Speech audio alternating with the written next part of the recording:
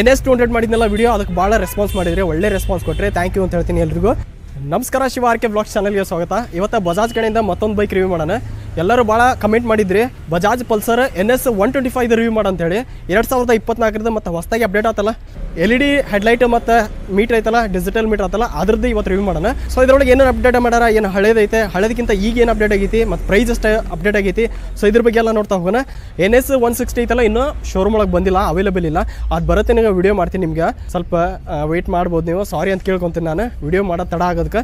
Video start ಮಾಡೋಕ್ಕಿಂತ ಮೊದಲು special thanks ಅಂತ ಹೇಳ್ತೀನಿ. ಚನ್ನಮ್ಮ ಬಜಾಜ್ ಶೋರೂಮ್ ಹಾವೇರಿ ಇವ್ರಿಗೆ.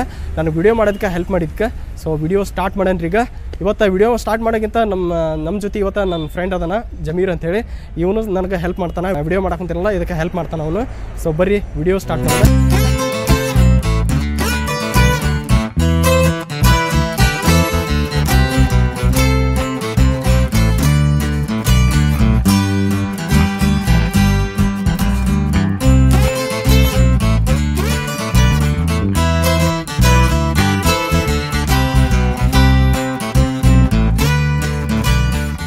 ಇದು ನೋಡ್ರಿ Bajaj Pulsar N S one twenty five ಎರಡು ಸಾವಿರದ ಇಪ್ಪತ್ನಾಲ್ಕರ ಮಾಡಲು ಹೊಸದಾಗಿ ಅಪ್ಡೇಟ್ ಅದ ಅಂತದ್ದು ಇದರೊಳಗೆ ಏನೇನು ಅಪ್ಡೇಟ್ ಆಗೈತೆ ಅದನ್ನೆಲ್ಲ ನೋಡ್ತಾ ಹೋಗೋಣ. ಅದಕ್ಕಿಂತ ಮೊದಲು ಅದ್ರ ಚಾವಿ ನೋಡ್ಕೊಡ್ರಿ, ಅದ್ರ ಚಾವಿ ಯಾವ ರೀತಿಯಾಗಿ ಬರ್ತದೆ ಅಂತೇಳಿ. ಅದ್ರ ಚಾವಿ ಈ ರೀತಿಯಾಗಿ ಬರ್ತೈತಿ ಸೇಮ್ ನಾರ್ಮಲ್ ಈ ಬೈಕ್ ಒಳಗೆ ಎಷ್ಟು ವೇರಿಯಂಟ್ ಬರ್ತಾವ ಅಂದ್ರೆ ಎರಡು ವೇರಿಯಂಟ್ ಅದಾವ ಸದ್ಯ. ಸ್ಟ್ಯಾಂಡರ್ಡ್ ಅಂತ ಹೇಳಿ, ಮತ್ತು ಇನ್ನೊಂದು ಬ್ಲೂಟೂತ್ ಅಂತೇಳಿ ಇದು ನೋಡಂತಿರಲ್ಲ ಟಾಪ್ ಮಾಡಲ್ ಬ್ಲೂತೂತ್ ಸ್ಟ್ಯಾಂಡರ್ಡ್ ಐತಲ್ಲ ಮಾಡಲ್ ಅದು ಇನ್ನೂ ಇರ್ತೈತೆ, ಇಲ್ಲ ಅಂತಂದು ಇನ್ನು ಬಜಾಜ್ನವರು ಅಫಿಷಿಯಲ್ ಆಗಿ ಏನು ಹೇಳಿಲ್ಲ. ಸೊ ಅದು ಮುಂದೆ ಬರ್ತಾ ಬರ್ತಾ ಗೊತ್ತಾಗ್ತೈತಿ, ಅವಾಗ ಹೇಳ್ತೀನಿ ನಾನು. ಸ್ಟಾರ್ಟ್ ಮಾಡಿರಿ ಈಗ ಡಿಸೈನಿಂದ ಸೊ ಡಿಸೈನ್ ನೋಡ್ತಾ ಇರ್ಬೋದು, ಯಾವ ರೀತಿಯಾಗಿ ಅಪ್ಡೇಟ್ ಮಾಡ್ಯಾರ ಅಂತೇಳಿ ಮೇನ್ ನಿಮ್ಗೆ ಅಪ್ಡೇಟ್ ಕಾಣೋದು ಏನಪ್ಪ ಅಂದ್ರೆ ಇದ್ರೊಳಗೆ ಎಲ್ ಇ ಡಿ ಹೆಡ್ಲೈಟ್ ಆ ಹೆಡ್ಲೈಟ್ ನೋಡಂತಿರಲ್ಲ ಒಳ್ಳೆ ಅಗ್ರೆಸಿವ್ ಲುಕ್ ಕೊಟ್ಟಾರ. ಮತ್ತು ಇನ್ನೊಂದು ಏನಪ್ಪ ಅಂದ್ರೆ ಡಿಜಿಟಲ್ ಮೀಟ್ರ್ ಸೊ ಇದನ್ನು ನೋಡ್ತಾ ಹೋಗೋಣ. ಇವಾಗ ಸ್ಟಾರ್ಟ್ ಮಾಡ್ಯಾನ್ರಿ ಇದ್ರ ಎಕ್ಸ್ ಶೋರೂಮ್ ರೇಟ್ ಸೊ ಈ ಬೈಕಿಂದ ಎಕ್ಸ್ ಶೋರೂಮ್ ರೇಟ್ ಅಂತ ಬಂದ್ರೆ ಒಂದು ಲಕ್ಷದ ನಾಲ್ಕು ಸಾವಿರದ ಒಂಬೈನೂರ ಇಪ್ಪತ್ತೆರಡು ರೂಪಾಯಿ ಆಗ್ತೈತಿ. ಅದು ಆನ್ ರೋಡ್ ನೀವು ಏನಾದರೂ ಹಾವೇರಿ ಒಳಗೆ ತೊಗೊಳಕ್ಕೆ ಬಂದ್ರೆ ಈ ಬೈಕಿಂದ ಪ್ರೈಸ್ ಒಂದು ಲಕ್ಷದ ನಲ್ವತ್ಮೂರು ಸಾವಿರದ ಆರುನೂರ ಅರವತ್ತಾರು ರೂಪಾಯಿ ಆಗ್ತೈತಿ. ಪ್ರೈಸ್ ಒಂದೇ ರೀತಿ ಆಗಿರಲ್ಲ ಯಾವತ್ತಿಗೂ. ಪ್ರೈಸ್ ಹೆಚ್ಚು ಕಮ್ಮಿ ಆಗ್ತಿರ್ತೈತಿ. ನೀವು ತೊಗೊಂತಿರ್ತಿರಲ್ಲ, ಅವಾಗ ಬಂದು ಪ್ರೈಸ್ನ ತಿಳ್ಕೊಂಡು ನೀವು ಪರ್ಚೇಸ್ ಮಾಡ್ಬೋದು. ಸ್ಟಾರ್ಟ್ ಮಾಡ್ಯಾನ್ರಿ ಈಗ ಡಿಸೈನ್ ಇಂದ. ಮುನ್ನೋಡೋದಿರಲ್ಲ full L E D headlight ಮತ್ತು ಇದ್ರೊಳಗೆ ಹ್ಯಾಲಿಜನ್ ಇಂಡಿಕೇಟರ್ ಬರ್ತಾವೆ. ಸೊ ಒಂದ್ಸಲ ಆನ್ ಮಾಡಿ ರೀ ಸೊ ಕೀ ಆನ್ ಮಾಡೋದಕ್ಕೆ ನಮಗೆ ಇದ್ರೊಳಗೆ ಡಿ ಆರ್ ಎಲ್ಲ ಆನ್ ಆಗಲ್ಲ ಏನು ಆನ್ ನೀವು ಬೈಕ್ ಸ್ಟಾರ್ಟ್ ಮಾಡ್ತಿರಲ್ಲ, ಅವಾಗಷ್ಟೇ ನಿಮ್ಗೆ ಡಿ ಆರ್ ಎಲ್ಸ್ ಆನ್ ಆಗ್ತಾವೆ. ಇಲ್ಲಿ ನೋಡಂತಿರಲ್ಲ ಇವೆರಡು ಡಿ ಆರ್ ಎಲ್ಸ್ ಸೊ ಇದು ನೋಡಂತಿರಲ್ಲ ಇದು ಲೋ ಬೀಮ್ ಇದು ಹೈ ಬೀಮ್ ಮತ್ತು ಇದೈತಲ್ಲ ಸ್ವಲ್ಪ ವೈಸರ್ನ ಹೆಚ್ಚಿಗೆ ಕೊಟ್ಟಾರ. ಇದ್ರೊಳಗೆ ಅಪ್ಡೇಟ್ ಆದಂಥದ್ದು, ಇನ್ನೊಂದು switch gears so switch gears ತೋರಿಸ್ತೀನಿ, ಹೆಂಗೆ ಏನನ್ನೋದು ಇಲ್ಲಿ ನೋಡಂತಿರಲ್ಲ ಈ ಸ್ವಿಚ್ ಗೇರ್ ಇದನ್ನ ನೀವು ಈ ರೀತಿ ಆನ್ ಮಾಡಿದ್ರೆ, ಈಗ ನೋಡ್ರಿ ನಾರ್ಮಲ್ ಆಗಿ ಹಿಂಗಿರ್ತೈತಿ. ಇದನ್ನ ಈ ರೀತಿ ಆನ್ ಮಾಡಿದ್ರೆ ನಿಮ್ಗೆ ಹೈ ಬೀಮ್ ಆನ್ ಆಗ್ತೈತಿ. ಇಲ್ಲಿ ನೋಡತ್ತಿರ್ಬೋದು ಹೈ ಬೀಮ್ ಇದನ್ನ ಏನಾದರೂ ಈ ರೀತಿ ಇಟ್ಟು, ಈ ಈ ರೀತಿಯಾಗಿ ಮಾಡಿದ್ರೆ ಪಾಸಿಂಗ್ ಲೈಟ್ ಸೊ ಒಂದ್ಸಲ ನೋಡ್ಬೋದು, ನಾ ಇಲ್ಲೇ ಈ ರೀತಿಗೆ ಹಿಂಗೆ ಕ್ಲಿಕ್ ಮಾಡ್ತೀನಿ. ಇಲ್ಲಿ ನೋಡ್ತಿರ್ಬೋದು ನೀವು ಯಾವ ರೀತಿ ಹೆಡ್ಲೈಟ್ ಕಾಣ್ತದೆ ಅಂತೇಳಿ. ಟೋಟಲ್ ಎಲ್ಲ ಅದಾವಲ್ಲ ಎಲ್ ಡಿ ಆನ್ ಆಗ್ತಾವೆ ಬ್ಲಿಂಕ್ ಆಗ್ತಾವೆ, ಇದು ಪಾಸಿಂಗ್ ಲೈಟ್ ನೋಡ್ತಾ ಇರ್ಬೋದು ಯಾವ ರೀತಿ ಇದೆ ಅಂತೇಳಿ. ಮತ್ತು ಇಂಡಿಕೇಟರ್ ಒಂದು ನೋಡೋಣ್ರಿ. ಇಂಡಿಕೇಟರ್ ನೋಡಿದ್ರೆ ಇಲ್ಲೇ ನೀವು ನೋಡ್ತಾ ಇರ್ಬೋದು. ಹ್ಯಾಲೋಜನ್ ಇಂಡಿಕೇಟರ್ ಬರ್ತಾವೆ. ಇದು ಯಾವುದೇ ಎಲ್ ಇ ಡಿ ಇಂಡಿಕೇಟರ್ ಇಲ್ಲ. Just N S one sixty ಮತ್ತು ಎನ್ ಎಸ್ ಟು ಹಂಡ್ರೆಡ್ ಐತಲ್ಲ, ಅದಕ್ಕಷ್ಟೇ ಎಲ್ ಇ ಡಿ ಇಂಡಿಕೇಟರ್ಸ್ ಕೊಟ್ಟಿರ್ತಾರೆ. ಇದಕ್ಕೆ ಕಾಸ್ಟ್ ಕಟ್ಟಿಂಗ್ ಅಂತ ಹೇಳಿ ಈ ರೀತಿಯಾದಂಥ ನಿಮ್ಗೆ ಹ್ಯಾಲೋಜನ್ ಇಂಡಿಕೇಟರ್ ಕೊಟ್ಟಿರ್ತಾರೆ ಈ ಬೈಕ್ ಒಳಗಾದ್ರೆ. ಇಲ್ಲಿ ನೋಡೋದಿರಲ್ಲ ಇದು ನಂಬರ್ ಪ್ಲೇಟ್ ಆಗೋದು ಇದು ಮಡ್ಗಾಡ್ ಅಂತ ಬಂದರೆ ಫೇಕ್ ಕಾರ್ಬನ್ ಫೈಬರ್ ಒಳಗೆ ಕೊಟ್ಟಿರ್ತಾರೆ. ಟೆಲಿಸ್ಕೋಪಿಕ್ ನೋಡೋಂತಿರ್ಬೋದು ಸಸ್ಪೆನ್ಷನ್ ಟೆಲಿಸ್ಕೋಪಿಕ್ ಸಸ್ಪೆನ್ಷನ್ ಬರ್ತೈತಿ. ಇದರೊಳಗೆ ಮೂವತ್ತೊಂದು ಎಂ ಎಂ ಇರೋಂಥದ್ದು. ಸೊ ಅದಾದಮೇಲೆ ನೋಡ್ತಾ ಇರ್ಬೋದು ನೀವು ಈ ಡಿಸ್ಕ್ ಸೊ ಈ ಡಿಸ್ಕ್ ಸೈಜ್ ಅಂತ ಬಂದ್ರೆ ಎರಡು ನೂರ ನಲ್ವತ್ತು ಎಂ ಎಂ ಪೆಟ್ರೋಲ್ ಡಿಸ್ಕ್ ಬರ್ತೈತಿ. ಬ್ರೇಕ್ ಸಿಸ್ಟಮ್ ಅಂತ ಬಂದ್ರೆ ಇದ್ರೊಳಗೆ C B S brake system ಇದೆ. ಕಾಂಬೋ ಬ್ರೇಕಿಂಗ್ ಸಿಸ್ಟಮ್ ಅಂತೇಳಿ. ಹಿಂದೇನಾದ್ರೂ ಬ್ರೇಕ್ ಹಿಡಿತಿರಲ್ಲ, ಮುಂದೆ ಬ್ರೇಕ್ ಅಪ್ಲೈ ಆಗ್ತೈತಿ ಸ್ವಲ್ಪ. ಆ ರೀತಿಯಾದಂಥದ್ದು.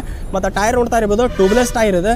ಈ ಟೈರ್ ಸೈಜ್ ಅಂತ ಬಂದ್ರೆ ನೋಡ್ತಾ ಇರ್ಬೋದು ನೀವು ಯಾವ ರೀತಿಯಾಗಿ ಕಾಣತೈತಿ ಅಂತೇಳಿ. ಇಲ್ಲಿ ನೋಡತ್ತಿರ್ಬೋದು ನೀವು eighty by hundred seventeen inch ಅಂತ ಹೇಳಿ ಸೆವೆಂಟೀನ್ ಇಂಚ್ ಅಲಾ ವೀಲರ್ ಅಂತದೆ ಸೊ ಫ್ರಂಟ್ ಡಿಸೈನ್ ಆಗೋದಕ್ಕೆ ನೆಕ್ಸ್ಟ್ ಸೈಡ್ ನೋಡೋಣ ರೀ ಸೈಡ್ ಒಳಗೆ ನೋಡ್ತಾನೆ ಇರ್ಬೋದು ನೀವು.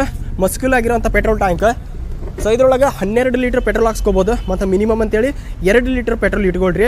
ಮೊದಲಿನ ಥರ ಇದು ಕಾರ್ಬೋರೇಟರ್ ಅಲ್ಲ, ಈಗ ಫ್ಯೂಲ್ ಇಂಜೆಕ್ಷನ್ ಮಾಡಲ್ ಇದೆ. ನೋಡಂತಿರ್ಬೋದು ಫ್ಯೂಲ್ ಇಂಜೆಕ್ಷನ್ ಅಂತ ಕೊಟ್ಟಾರ ಸೊ ಅದ್ರಾಗ ಪಲ್ಸರ್ ಅಂತೇಳಿ ಸಿಲ್ವರ್ ಕಲರ್ ಒಳಗೆ ಐತಿ. ನೀವು ನೋಡಂತಿರ್ಬೋದು N S one sixty N S two hundred ಐತಲ್ಲ, ಅದರೊಳಗೆ ಕಾರ್ಬನ್ ಅಥವಾ ಬ್ಲ್ಯಾಕ್ ಫಿನಿಶ್ ಒಳಗೆ ಐತಿ ಪಲ್ಸರ್ ಅಂತೇಳಿ. ಇದ್ರೊಳಗೆ ಸಿಲ್ವರ್ ಕಲರ್ ಒಳಗೆ ಐತಿ ಇನ್ನು. ಸೊ ಇದೆಲ್ಲ ಪ್ಲಾಸ್ಟಿಕ್ ಮಟೀರಿಯಲ್, ಒಳ್ಳೆ ಫೈಬರ್ ಪ್ಲಾಸ್ಟಿಕ್ ಮೆಟೀರಿಯಲ್ ಅಂತ ಹೇಳ್ಬೋದು. ಇಲ್ಲಿ ನೋಡಂತಿರಲ್ಲ, ಇದು ಸೇಫ್ಟಿಗೆ ಅಂತ ಕೊಟ್ಟಿರ್ತಾರೆ rubber.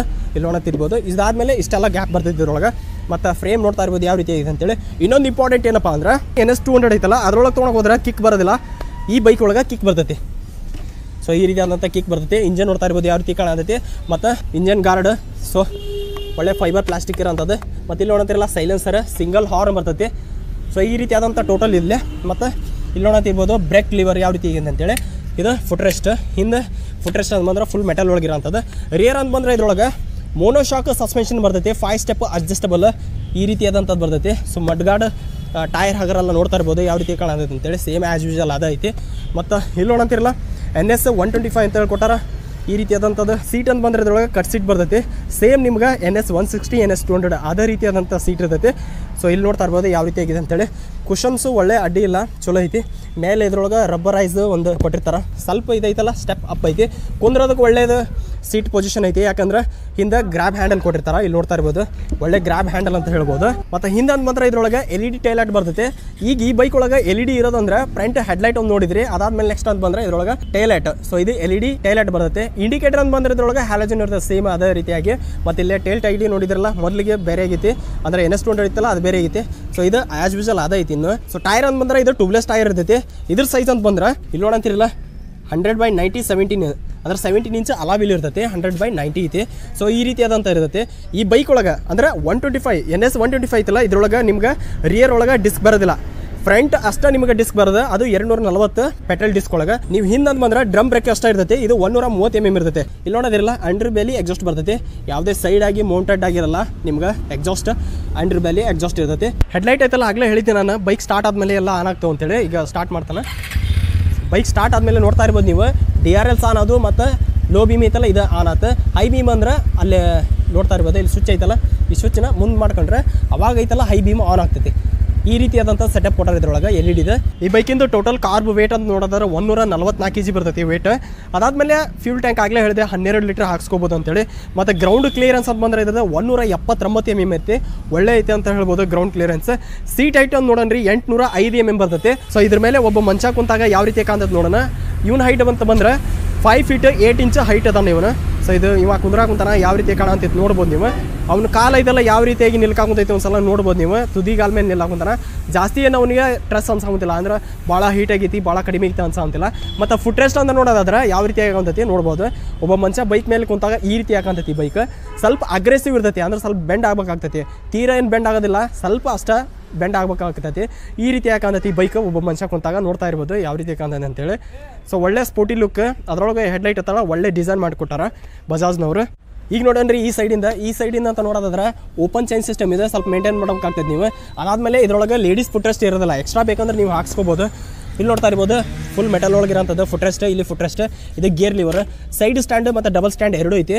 Side stand engine cut off sensor ಐತಿ. ಸೈಡ್ ಸ್ಟ್ಯಾಂಡ್ ಪೂರ್ತಿ ತೆಗೆದ ಮೇಲೆ ಬೈಕ್ ಸ್ಟಾರ್ಟ್ ಆಗ್ತೈತಿ. ಇದೊಂದು ಬೆಸ್ಟ್ ಸೇಫ್ಟಿ ಅಂತ ಹೇಳ್ಬೋದು ನಿಮ್ಗೆ.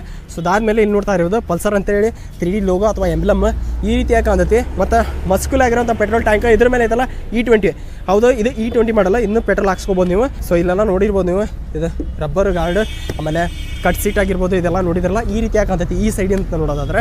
ಒನ್ ಟ್ವೆಂಟಿ ಫೈವ್ ಅಂತೇಳಿ ಇದ್ರೊಳಗೆ ನಿಮ್ಗೆ ಸ್ಟಿಕ್ಕರ್ ಒಳಗೆ ಕೊಟ್ಟಿರ್ತಾರ ಒನ್ ಟ್ವೆಂಟಿ ಫೈವ್ ಅಂತೇಳಿ ಸೊ ಈ ರೀತಿ, ಈ ರೀತಿಯಾಗಿ ಕಾಣ್ತೈತಿ ಎಲ್ಲ ನೋಡೋತಿರ್ಬೋದು ನೀವು. ಈಗ ಬೈಕ್ ಮೇಲೆ ಕೂದಿರ್ತೇವಲ್ಲ ನಮ್ಗೆ ಈ ರೀತಿಯಾಗಿ ಕಾಣ್ತೈತಿ ಬೈಕ್ ಸೊ ಈಗ ನೋಡೋಣ್ರಿ ಇಂಪಾರ್ಟೆಂಟ್ ಟಾಪಿಕ್ ಅಂತ ಹೇಳಿದೆ. ಇದ್ರೊಳಗೆ ನೋಡೋದಾದ್ರೆ handle clip on handle bar ಬರ್ತವೆ.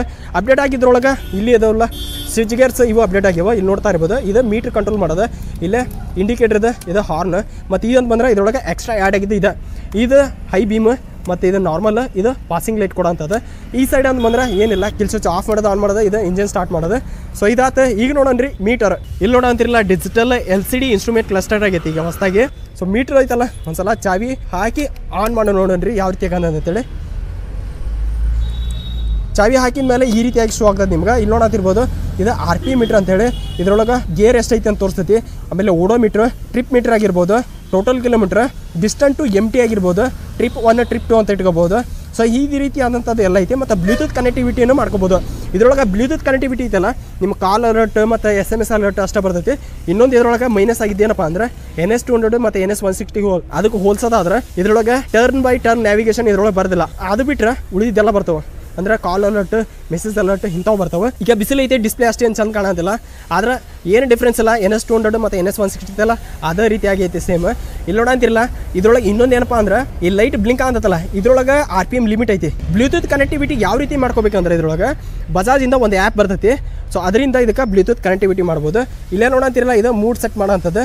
ಇಲ್ಲೇ ಆಗಿರ್ಬೋದು, ಇದಾಗಿರ್ಬೋದು. ನೀವು ಇನ್ನೊಂದು ಏನಪ್ಪ ಅಂದರೆ ಕೆಲವರು ಡಿಜಿಟಲ್ ಮೀಟ್ರಿಗಿಂತ ಡಿಜಿಟಲ್ ವಿತ್ ಎನಲಾಗ್ ಮೀಟ್ರ್ ಇತ್ತಲ್ಲ, ಅದನ್ನು ಭಾಳ ಇಷ್ಟಪಟ್ಟಾಕೊಂತಾರ ಯಾಕಂದರೆ ಇದರೊಳಗೆ ಆರ್ ಪಿ ಮೀಟ್ ಮುಳ್ಳು ಇತ್ತಲ್ಲ, ಅದು ಒಂದ್ಸಲ ಹಿಂಗೆ ಹೋಗಿ ಬಂದಮೇಲೆ ಅದ್ರದ್ದು ಒಂದು ಏನೋ ಫೀಲಿಂಗ್ ಇರ್ತೈತೆ ಬಜಾಜ್ದೊಳಗೆ. ಸೊ ಅದು ಮಿಸ್ ಆಗೈತೆ ಅಂತ ಎಲ್ಲರೂ ಹೇಳಕೊಂತಾರೆ ಸೊ ನೀವು ಕಮೆಂಟ್ ಮಾಡಿ ಹೇಳ್ಬೋದು, ನಿಮ್ಗೆ ಹೊಸ ಮೀಟ್ರ್ ಇಷ್ಟ ಆಗಿತ್ತು ಅಥವಾ ಹಳೆ ಮೀಟ್ರ್ ಇತ್ತಲ್ಲ, ಅದ ಇಷ್ಟ ಆಗಿತ್ತು ಅಂತ ಕಮೆಂಟ್ ಮಾಡಿ ಹೇಳ್ಬೋದು. ಅದಾದಮೇಲೆ ನೆಕ್ಸ್ಟ್ ಇದು ಅಪ್ಡೇಟ್ ಆಗಿತ್ತಲ್ಲ N S one twenty five update ಆಗಿತ್ತಲ್ಲ, ಇದ್ರ ಬಗ್ಗೆ ನೀವು ಕಮೆಂಟ್ ಮಾಡಿ ಹೇಳ್ಬೋದು, ನಿಮಗೆ ಹೆಂಗೆ ಅನಿಸ್ತದೆ. ಹೆಡ್ಲೈಟ್ ಆಗಿರ್ಬೋದು ಅಥವಾ ಡಿಸ್ಪ್ಲೇ ಆಗಿರ್ಬೋದು. ಸೊ ಇದ್ರ ಇಂಜನ್ ಅಂತ ಬಂದ್ರೆ ಒನ್ನೂರ ಇಪ್ಪತ್ನಾಲ್ಕು ಪಾಯಿಂಟ್ ನಾಲ್ಕು ಐದು C C S O H C four valve four stroke air cooled engine ಇದೆ. ಎಫ್ ಐ ಇಂಜನ್ ಅಂದ್ರೆ fuel injection B S six phase two ಈಗ, ಅಂದ್ರೆ ಇ ಟ್ವೆಂಟಿ ಪೆಟ್ರೋಲ್ ಹಾಕ್ಸ್ಕೋಬಹುದು ಮತ್ತು O B D two sensor ಐತಿ. ಈ bike ಒಳಗೆ ಐದು ಗೇರ್ ಬರ್ತವೆ first down four up maximum power ಇದ್ರದ್ದು ಹನ್ನೊಂದು ಪಾಯಿಂಟ್ ಎಂಟು ಬಿ ಎಚ್ ಪಿ ಎಂಟು ಸಾವಿರದ ಐನೂರು ಆರ್ ಪಿ ಎಮ್ದಾಗ ಮತ್ತು ಮ್ಯಾಕ್ಸಿಮಮ್ ಟಾರ್ಕ್ ಅಂತ ನೋಡಿದ್ರೆ, ಹನ್ನೊಂದು ಎನ್ ಎಂ ಅಟ್ ಏಳು ಸಾವಿರದ ಆರ್ ಪಿ ಎಮ್ದಾಗ ಅಷ್ಟು ಪವರ್ನ ಅಷ್ಟು ಟಾರ್ಕ್ನ ಇದು ಪ್ರೊಡ್ಯೂಸ್ ಮಾಡೋದು ಬೈಕ್ ಸೊ ಒಳ್ಳೆ ಟಾರ್ಕ್ ಒಳ್ಳೆ ಪವರ್ ಅಂತ ಹೇಳ್ಬೋದು one twenty five C C segment ಒಳಗೆ ಬೈಕಿಂದು ಮೈಲೇಜ್ ಅಂತ ನೋಡೋದಾದ್ರೆ ನಾವು ಕಂಪ್ನಿ ಕ್ಲೇಮ್ ಮಾಡದ ಒಂದು ನಲ್ವತ್ತೈದರಿಂದ ಐವತ್ತು ಅಂತ ಹೇಳ್ತೈತಿ. ಆದ್ರೆ ಬೈಕ್ ಯಾರ್ಯಾರು ಓಡಿಸಾಗುಂತಿರಲ್ಲ ಈಗ, ಅವ್ರು ಕಮೆಂಟ್ ಮಾಡಿ ಹೇಳ್ರಿ, ನಿಮಗೆ ಮೈಲೇಜ್ ಹೆಂಗೆ ಕೊಡೋದತಿ ಇದು ಬೈಕ್ ಈಗ ಹೇಳೋದಾದ್ರೆ ಬೈಕಿನ ಮೈಲೇಜ್ ನಲ್ವತ್ತೈದರಿಂದ ಐವತ್ತೈದು ಅಂತ ಹೇಳ್ಕೊಬೋದು ನೀವು ಒಂದು ಲೀಟ್ರಿಗೆ ಅಷ್ಟು ಕಿಲೋಮೀಟರ್ ಕೊಡ್ತೈತಿ. ಇವರು ನಮ್ಮ ಸಬ್ಸ್ಕ್ರೈಬರ್ ಇಲ್ಲೇ ಸಿಕ್ಕಿದ್ರೆ ಥ್ಯಾಂಕ್ಸ್ ಅಂತ ಹೇಳ್ತೀನಿ ಅವ್ರಿಗೆ. ಎಲ್ಲ ಟೋಟಲ್ ಆಗಿ ನೋಡಿದಿರಿ, ನಿಮ್ಗೆ ಈ ಬೈಕ್ ಹೆಂಗೆ ಅನಿಸ್ತಾ ಹೆಂಗಿಲ್ಲ ಕಮೆಂಟ್ ಮಾಡಿ ಹೇಳ್ಬೋದು. ಅದಾದಮೇಲೆ ಬೈಕ್ ಐತಲ್ಲ, ಇದು ಕಾಂಪಿಟೇಟರ್ ಅಂತ ಬಂದ್ರೆ Xtreme one twenty five R ಅಂತ ಹೊಸದಾಗಿ ಬಂದೈತಿ ಹೀರೋದಿಂದ. ಅದಾದಮೇಲೆ ಮತ್ತು T V S Raider one twenty five ಅಂತ ಐತಿ. ಇನ್ನೂ ಕೆಲವೊಂದಿಷ್ಟು ಬೈಕ್ಸ್ ಬರೋದವು ಇನ್ನೂ ಅಪ್ಕಮಿಂಗ್ ಐತಿ. ಅದು ಬಂದಾಗ ಅದ್ರದ್ದು ರಿವ್ಯೂ ಮಾಡ್ತೀನಿ ಬೈಕಿಂದ ಎನ್ ಎಸ್ ಒನ್ ಸಿಕ್ಸ್ಟಿ ಭಾಳ ಕೇಳಂತ್ರಿ ಅದ್ರದ್ದು ವಿಡಿಯೋ ಮಾಡ್ತೀನಿ ಜಸ್ಟ್ ಇನ್ನೊಂದು ವೀಕ್ ಒಳಗೆ ಬರ್ತೈತೆ ಅಂತ ಹೇಳ್ಯಾರ. ಇನ್ನೊಂದು ವಾರದೊಳಗೆ ಬಂತಂದ್ರೆ ಅದ್ರ ವಿಡಿಯೋ ಫಸ್ಟ್ ಬಂದು ಅದನ್ನು ವಿಡಿಯೋ ಮಾಡ್ತೀನಿ ನಾನು ಬೈಕಿಂದ ವಿಡಿಯೋ ನೋಡಿದ್ಕೆ ಭಾಳ ಧನ್ಯವಾದಗಳು.